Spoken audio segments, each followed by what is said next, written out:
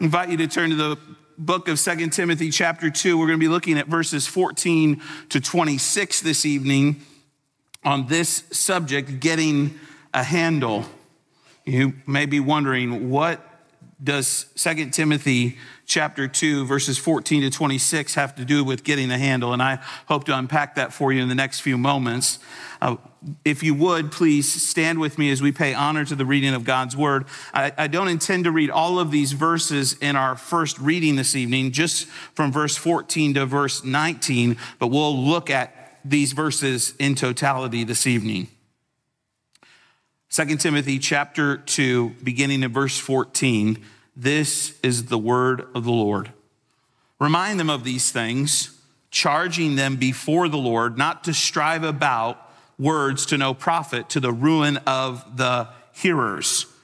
Be diligent to present yourself approved to God, a worker who does not need to be ashamed, rightly dividing the word of truth. But shun profane and idle babblings, for they will increase to more ungodliness, and their message will spread like cancer. Hymenaeus and Philetus are of this sort, who have strayed concerning the truth, saying that the resurrection is already past, and they overthrow the faith of some. Nevertheless, the solid foundation of God stands, having this seal The Lord knows those who are his, and let everyone who names the name of Christ depart from iniquity. May God bless the reading of his holy, inspired, inerrant word and write its eternal truths onto our hearts. Let's pray together this evening. Father, we come to you tonight to a text that is uber important for the life of every individual Christian. The temptation when we study books like 1st and 2nd Timothy and Titus is to say these are classified as the pastoral epistles, so they only apply to the preachers. But God, you have inspired all of Scripture and you've given it to us all collectively so that we might learn and grow. So help us to be attentive tonight to listen to what your word has to say. What we know not, teach us. Where we need to grow, grow us for your glory and our good. We ask these things in the name of Christ. Amen. You can be seated. I love the phrase, help people get a handle on this. Help people get a handle on this. You know, there are just some areas of life where we need help understanding what we are supposed to do. Maybe we need help understanding where we're supposed to go or how we're supposed to live. That's just a basic, common fact of life. And the truth of the matter this evening is that there are subject matters in which you and I need to get a handle on them, especially for our own life, but especially also if we're going to be instructing others. I realized the other day that I am closer to one of my greatest fears than I've ever been. I realized the other day with Harper becoming closer and closer to becoming a kindergartner, the fear of having to help my kids with their math homework. Praise God for parents who loved me and tried their best to help me to understand math. I was suitable or good with addition, subtraction, multiplication, division. I did times tables by rote memory. I still think there's a value to some rote memory thing. How in the world would I know that 9 times 9 equals 81? Just by sheer memory, not because I'm talented mathematically. But then came algebra and geometry and trigonometry and calculus. And I got to be transparent with you this, this evening. I'm not even sure that I took the last two that I just listed in high school because I'm pretty sure I just blocked it out of my brain. I, I'm just, I'm, I did not know it at the time, but as I, as the Lord had called me into vocational ministry, he was going to give me a word, a theological word about algebra. The algebra Despite what my fellow faculty member at Mission University, Steve Maurus, would love you to think that algebra is ordained and orchestrated by God, I make on our campus regularly the argument that algebra is indeed evidence of the fall. because numbers and letters do not belong together in mathematical equations. They were in two separate fields, walking along peaceably. And then Eve ate, and Adam took also. And the next thing those brothers knew, they were in math problems together, wondering, What are you doing here? And I, the, the, the letter said to the number, I was wondering the same thing. No matter what it seemed like, I could never get a handle on those subject materials. Now, there is something far greater than not being able to get a handle on math, and that is not getting a handle on what it means to be a Christian. Paul instructs Timothy to charge and remind the Christians in Ephesus to do things in a certain way. In other words, he's helping them get a handle on the aspects of being a Christian. And so tonight in our time together, what I want to do is I just want to simply put before you three categories of things that Christians must have a handle on. Now, they're not, these are guideposts along the way and applications as well. They are not uh, comprehensive as the points are, but you're going to see, I think they serve as great guideposts to helping us take a text like 2 Timothy chapter 2 verses 14 through 26 and be able to walk away with some sort of structured arrangement for how we should think on these things. So I want you to see number 1 tonight that what is necessary for the pastors to do in the life of a local church is to help Christians number 1 get a handle on the word. Verse 14, I draw your attention there again. Remind them of these things, charging them before the Lord, not to strive about words to no profit, to the ruin of the hearers. Be diligent to present yourself approved to God, a worker who does not need to be ashamed, rightly dividing the word of truth. But shun profane and idle babblings, for they will increase to more ungodliness, and their message will spread like cancer. Hymenaeus and Philetus are of this sort, who have strayed concerning the truth, saying that the resurrection is already past, and they overthrow the faith of some. Here in these opening verses, Paul tells Timothy to remind and charge the people at Ephesus. One of Timothy's main responsibilities as the pastor in Ephesus is to encourage people and challenge them. He is to encourage them and challenge them. It's a charge to remind them of these things and to charge them. If you're looking for your pastor to be your best friend, to put his arm around you and constantly encourage you, can I just give you a word? Go get a golden retriever.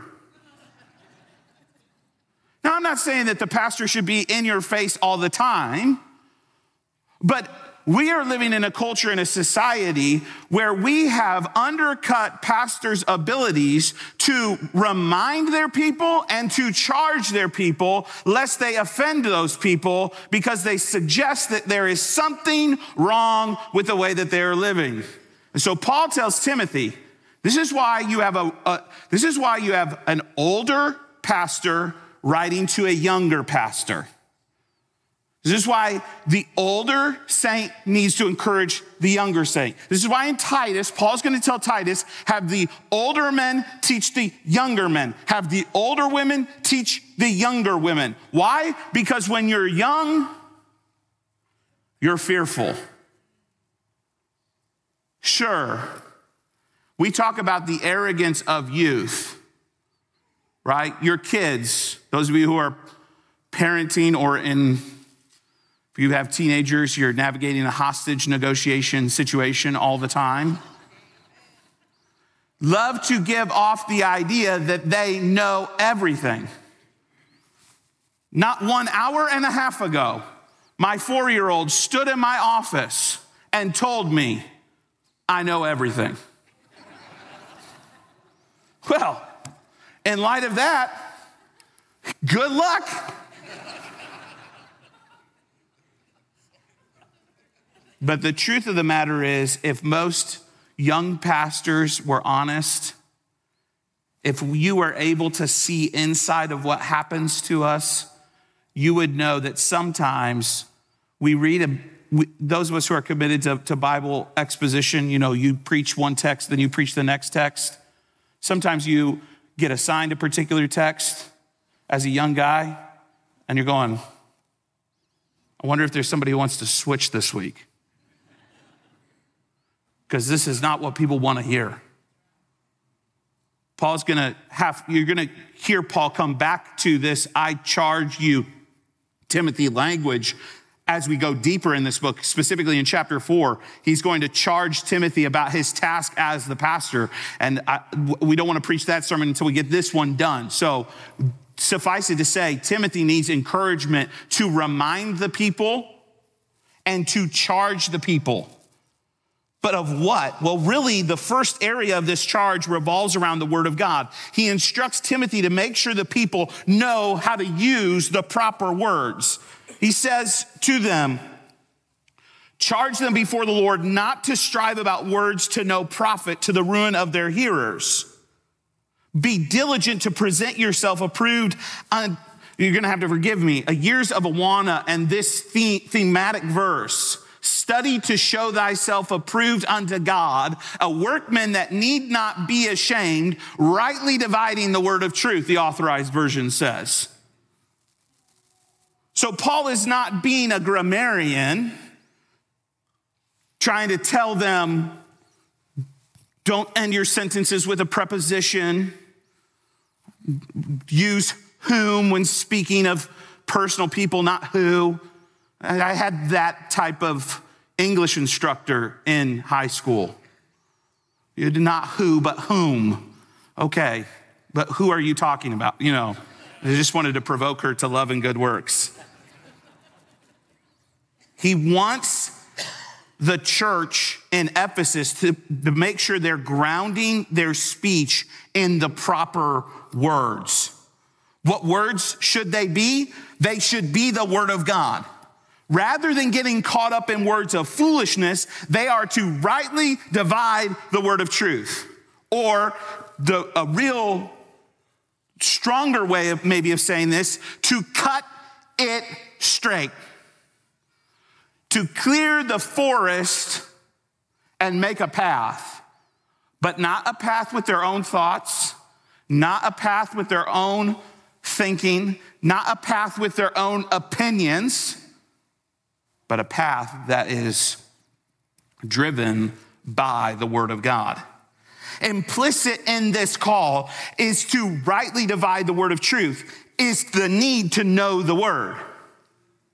A Christian cannot rightly divide what they don't know. You will not cut it straight if you're not acquainted with its content. It's a fundamental conviction. I've told this story before, lots of places, so I'm assuming that I've told it here, but I remember being in Bible college and the first paper that I ever had to write came from this book. 2 Timothy 3 16 and 17. All scripture is given by inspiration of God as profitable for doctrine, reproof, correction, instruction in righteousness, that the man of God may be thoroughly equipped for every good work. And I, re- I wrote that paper. I thought I, got, I should have gotten a better grade on it than I did. I've reflected on that, and I still hold that position. But I remember as a 19 year old, third semester Bible college student walking out that fall, at the end of that fall semester with that study on the doctrine of the Bible and the doctrine of, of God, his character, his attributes, the Trinity, and thinking to myself, well, now to the really fun stuff. You know, you live in Southwest Missouri, so we got to deal with this issue of the Holy Spirit and speaking in tongues and the miraculous gifts of this age. That's going to be a battle that we're going to have to fight and, you know, get to the doctrine of salvation. We're going to have to, certainly, we're going to have to have a discussion probably robustly about Calvinism at some point. and thinking as a 19 year old kid, we've got that doctrine tucked away, we're fine. Let's move on. Because certainly we're all in agreement about that. 15 years removed, what do I find myself constantly having to go to battle over alongside of our pastoral staff? Do you believe in an inspired, infallible, inerrant Bible? It turns out that the first battle is going to be the battle that we continue to fight in every era. And the problem in our culture and our society today is there are a lot of people who want to tell you that they're preaching God's word when they're rubbing up against it. I've told my students that what we call this type of preaching, I call it sparkling water preaching. You say, why do you call it sparkling water preaching? If you've ever drank sparkling water, I remember a few years ago we started to drink sparkling water. I was intrigued by it. I still am intrigued by it. I still drink it. I don't really know why, but I do. And uh, they came out with this brand of water, and I think it was it was a great uh, it was a great name for it. They called it Hint Water. Because in Hint Water, what happens is they get sparkling water and they put it in a bottle and they put it in a room. And then they get a case of strawberries and they set it next to that bottle water. Three months, six months, nine months, I don't know. I'm not even sure that this is really what they do, it's what I like to think. Because there is an essence of strawberry in this sparkling water. It is not strawberry. If you've ever drank sparkling water that is flavored, they're like, here's lime sparkling water. It's, it's carbonated water with a hint of flavor of lime or of strawberry or of watermelon. It is not, I've had grape soda. This is not grape sparkling water. You can't fool me. I am not tricked by you people. And yet, here I am continuing to drink it. I don't know what that says about me, but I do know what it says about preaching. There's a lot of preaching and teaching today that is sparkling water preaching. You listen to it, and there's just a touch of the Bible. It rubs up against the Bible. It comes close to the Bible. It brushes shoulders with the Bible. It kind of maybe quotes the Bible, but it is not preaching that is grounded in the Bible. The, the Bible isn't driving it. And then you wonder why there's people who don't know what they believe because nobody showed them from the scriptures what they should believe. So Paul's telling Timothy, you've got to help these people to know that they need to be able, not the preacher, because in my prayer, my opening prayer, I was specific. I was praying, asking the Lord for help, but I was trying to teach you too at the same time, trying to, trying to multitask a little bit there in the prayer. We go pastoral epistles, people are like, oh, this is applying to me. This is for preachers. No, and yes. Yes, it is for us, but it's also for you. Paul doesn't tell Timothy to remind you, Timothy. He says, remind them. They've got to be able to do it. And the, the call here, verse 16, but, pro, but shun profane and idle babblings, for they will increase to more ungodliness, and their message will spread like cancer. Hymenaeus and Philetus are of this sort, who have strayed concerning the truth, saying that the resurrection is already past, and they overthrow the faith of some. What the call here is, is to banish from their conversation not arguments, but false theology. The profane and idle babblings point to the Ephesian heresy and the danger that lied in it. We, we see that fleshed out in verse 17 as Hymenaeus and Philetus are specifically listed as false teachers. They had taught the heresy that the resurrection had already happened. They were making the argument that believers experience the full reality of Christ's resurrection already in the present. Meaning, you're like, what does that mean, right? Meaning, they were receiving this argument that there's no future glorification to come, that right now you've been perfected. Well, that's dangerous. You say, why is it dangerous? Well, have you spent 10 minutes with yourself? You think this is the best perfection that Christ can do in your life? Think about my own life. Doesn't seem that powerful. If this is perfect, we've got a problem. But Paul says to Timothy, call out these false teachers and banish them from the conversation. We, it's not a call to not have arguments. On the contrary, it's to call arguments for what they are and not try and make some sort of backdoor, well, you know, they're trying their best. The most severe issue in this text is that it had led to the faith of some people being damaged. One commentator says this in this text, there is a figurative extension of the term that indicates a spiritual destruction of a person's faith in Christ. The term means to jeopardize someone's inner well being and even to ruin them. Paul could not be any clearer about the serious nature of this particular bit of false teaching. Paul says, get it out of the church. You don't discuss it as an alternative theology. You call it for what it is and you get it out of the building. We're not playing around with false teaching. We're not we're not messing around with redefining what God's word has to say. We're going to remove it. And if we're going to be guilty of any name it and claim it theology, it's going to be naming and claiming the false teachers. And, and forgive me if this is too strong. We're going to claim the scruff of their necks and show them the exit.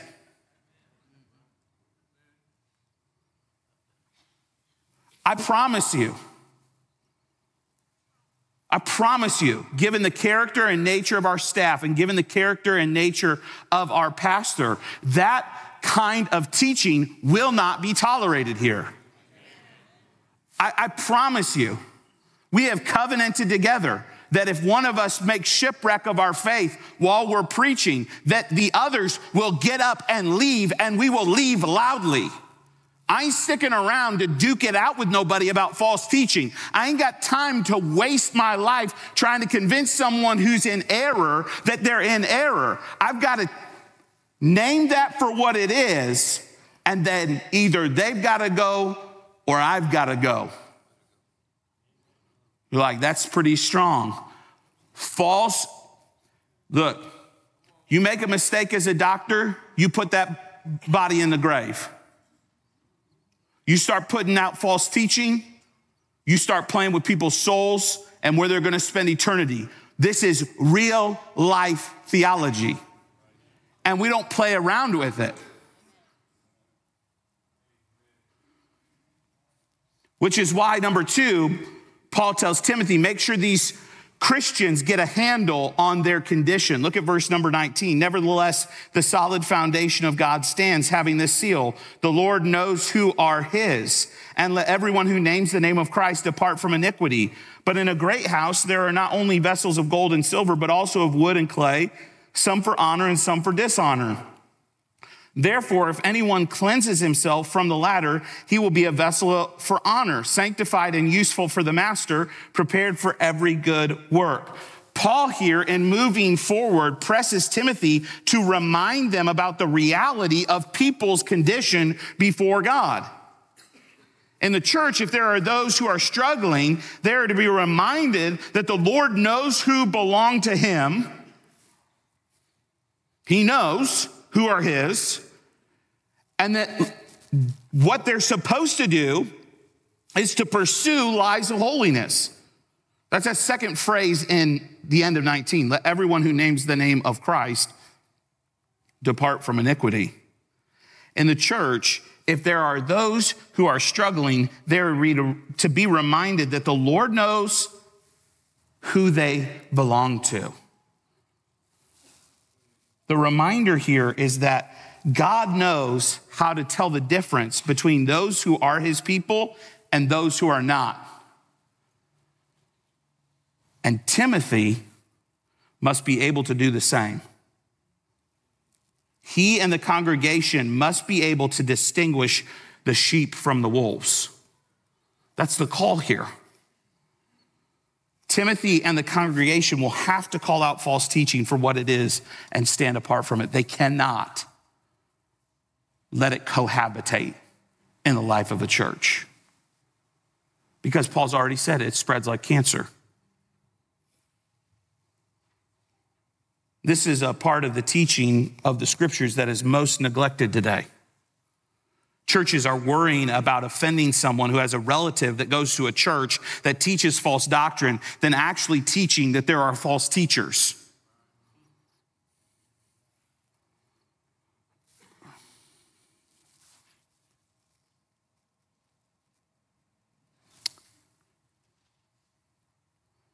When error comes to your town, or let me put it this way when terror comes to your town, if terrorists show up in your town, you don't lay down and tell them, well, we have differences of opinion, but let's just get along. False theology, false doctrine doesn't come looking for friends.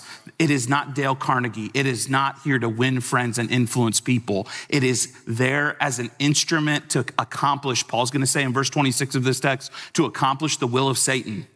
That Satan and his demons send forward false teaching as a way to distract, to disengage, to entangle, to detract people from true knowledge of who God is. That's the whole reason why false theology exists. It's not just a different way of thinking about things, it is a means by which to ensnare people to hell. And so when it comes to our town, we don't just say, well, that's just a different way of thinking. It is of the pit of Satan, and it ought to be rebuked. There is a right and a proper way to do this. Some of you are like, wow, this, this is feeling rather strong this evening. There's a right and a proper way to do this. I don't think we have to be mean. I don't think you have to be nasty. I don't think you have to cut jokes. I don't think you have to put people down. I don't think you have to be over the top. I, we just, you know, I'm a big fan of, uh, I, I, of, of 12th century apologists. And you say, why are you a big fan of 12th century apologists? Because 12th century apologists basically did this. Greg comes onto the scene, Greg's teaching something false. The 12th century apologist doesn't come up with a catchy title for his book, like something, I don't know what you would come as a crafty title for a book. They didn't do that in the 12th century. They wrote a book and they, they said this against Greg and his heresies. Here's his name, here's his false teaching, here's why it's wrong. They weren't rude. They weren't cruel. They weren't over the top. They weren't slick. They weren't trying to market anybody. They just said, here is the false teacher and the heresies that they're teaching. It's as simple as that. And people were like, well, we can't do that. We don't want to offend anybody. Well, apparently, Paul, the Apostle Paul, writing under divine inspiration of the Holy Spirit, didn't really give a rip about offending people because he names names. He says, hey, hey, you in there in Ephesus, avoid false teaching. Like, Who's teaching false teaching? Hymenaeus and Philetus. Oh, yeah, I've seen those brothers around. Yeah, they're in error. Get them away from the people of God. The simple truth is that as God has entrusted Timothy to shepherd the flock in Ephesus, he's also called Timothy to shepherd and protect that flock. In my office, if you were to walk down to my office, there are two uh, cartoon drawings by a man named Paul Cox. He's a, an illustrator who lives in, in the, in the St. Louis or the uh, Minneapolis, St. Paul area of Minnesota. And, and they, they hang side by side so that I see them while I'm working. One of them is a quote by Knox, John Knox, who pastored in Scotland. And he, it said, I've never once feel, feared the devil or his armies, but I tremble every time I enter into the pulpit. Meaning, this task is serious, Botts. You got to be serious about this. You've been entrusted by Pastor Eddie to preach to these people. That is not a light task. So you better get yourself prepared because this isn't your pulpit. It's God's pulpit first, and then it's Eddie Bumpers' pulpit second. So this isn't for you to fool around with and be cute and do a shtick teach the Bible because that's what your pastor has modeled to you for the last 14 years. So you better make sure. So that's enough to keep me trembling. And then right next to it is a quote from Calvin, who pastored in Geneva. Said, The pastor must have two voices one to gather the sheep and one to drive away wolves. I'll tell you this sheep, I love you. Wolves and goats, don't be messing with my people because they're not mine. They're God's. And then the chief under shepherd of this church, Eddie Bumpers, has entrusted me to be extra muscle.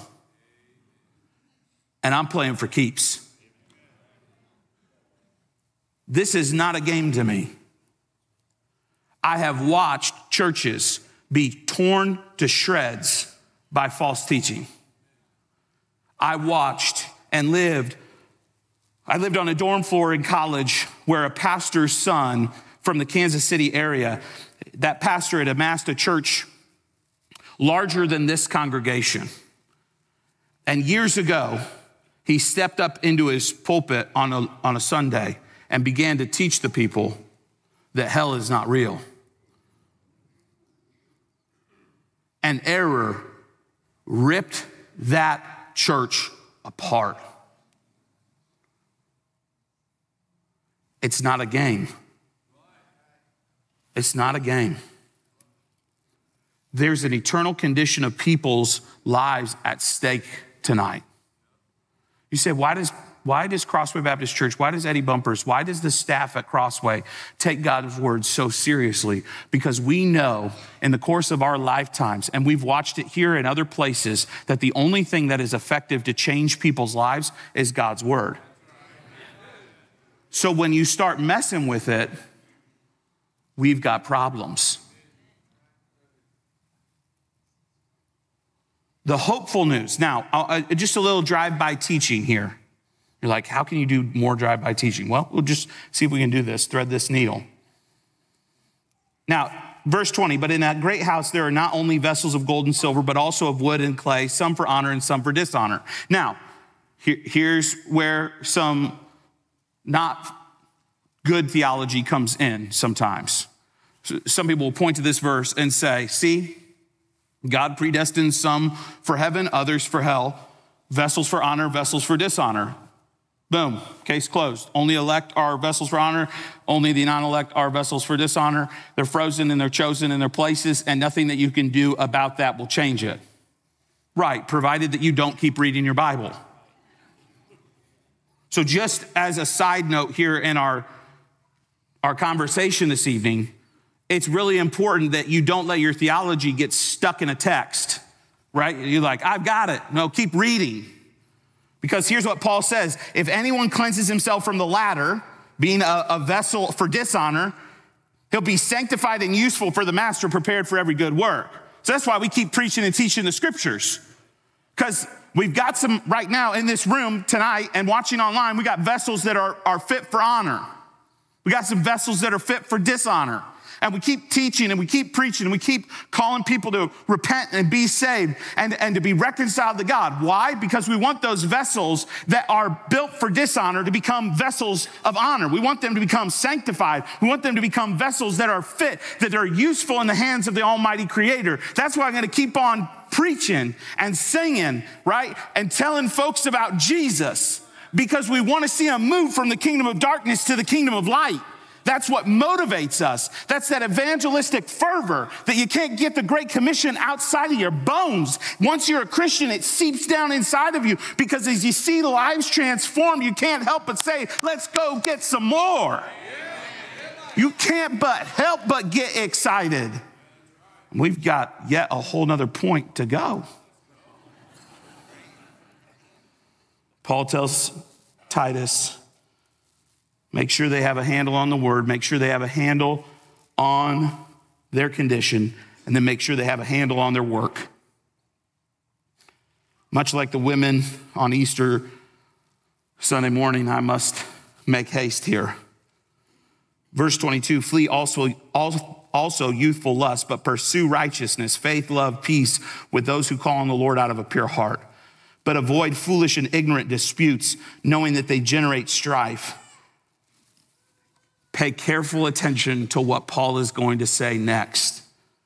A servant of the Lord must not quarrel, but be gentle to all, able to teach, patient in humility, correcting those who are in opposition, if God perhaps will grant them repentance so that they may know the truth and they may come to their senses and escape the snare of the devil, having been taken captive by him to do his will. Sometimes we just think the devil's just out there just messing with people. He's got a will that he's trying to accomplish, and it's contrary in direct opposition to God's word. What is our work? Not what is the pastor's work, but what is the Christian's work. Flee youthful lust, flee youthful desires. This is the idea of my desires have to be reoriented. I can't desire what I used to desire. I've got to desire what God wants me to desire. His desires have to become my desires. Delight yourself in the Lord and he will give you the desires of your heart. Why will he give you the desires of your heart? Because you've delighted in him so that his desires are now your desires. And he's now getting, you're like, I get the desires of my heart, which God's like, yes, because those are my desires. So we, we flee those youthful lusts, but we per, pursue righteousness, faith, love, peace with those who call on the Lord out of a pure heart. We also are going to avoid foolish and ignorant disputes, knowing that they generate strife. Some of the biggest issues inside of churches is fussing over stuff that is insignificant, unimportant for the kingdom of heaven and the kingdom of God under the guise of that's my conviction or that's my theological outtake. Brother, sister in Christ, with all the love and care and compassion in my heart, show me the text. No text, no big level discussion. You're going to try and get me to engage in that. I'm just going to say, you don't have a text, or in my argumentation, a leg to stand on. So I'm going to love you anyway like with my preference. Wonderful. I understand you have preferences. We all have things that we like and things that we don't like. I, you know, my preference would be everybody in this church would become a St. Louis Cardinals fan. My preference would be everybody in this church become an Iowa Hawkeye fan. My preference would be that everybody in this church love Chinese food as much as me. I, my preference is that every Wednesday night we all go to Andy's and somebody else buy my ice cream. That's my preference. but we're not going to break fellowship and rightfully so. Look, I've gone through enough pain being an Iowa Hawkeye fan. Why do I need to bring you along with me? I've suffered enough for the collective group. Why would I? I love you too much to let you do that. We cannot afford to fuss and look. The devil is looking for any way possible. I hear pastors say this regularly. The devil's looking for any way possible to drive a wedge in our unity. So he starts with the pastor and his wife.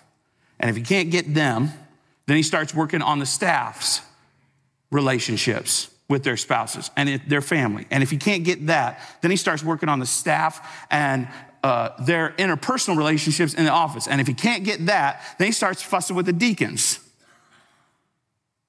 And if he can't get them, then he goes to the Bible fellowship teachers. And if he can't get them, then he goes to whoever is considered to be influential in the community to get them. Because what he's trying to do is breed disunity. And disunity happens when we're fussing about stuff that doesn't matter. Which is why we've got to learn, and this is tough, we've got to learn to be gentle. We've got to learn to be able to teach. Later in this book, Paul's going to tell Timothy to exhort them with all long suffering. In other words, Timothy, when you preach to those people in Ephesus, you be patient with them. Not just a little bit, but all the time. This is the most difficult thing to do. Just like my parents sitting at the table trying to help me not be able to understand math is the pastor who's trying to help people grow in godliness that just can't get it. And he's supposed to have patience. So y'all should be praying for each other and for the staff, and it's most importantly for our pastor that we would have patience, that we would be able to know how to humbly correct people. Why? so that they may come to know the truth, and that the, knowing the truth that will set them free, they'll be able to escape the snare of the devil.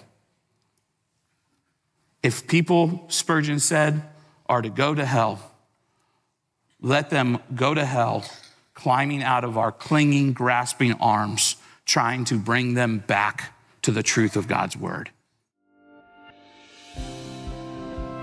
Thanks for watching this sermon. We hope and pray that it's been a blessing and an encouragement to you in your walk with the Lord. If you have more questions, or maybe you're that person who's looking to take their next step in their walk with Christ, we love nothing more than to connect with you through our website. For service times and information about other events and activities at Crossway, you can connect with us at crosswaybc.org. May the Lord bless you and keep you. We hope to see you again soon.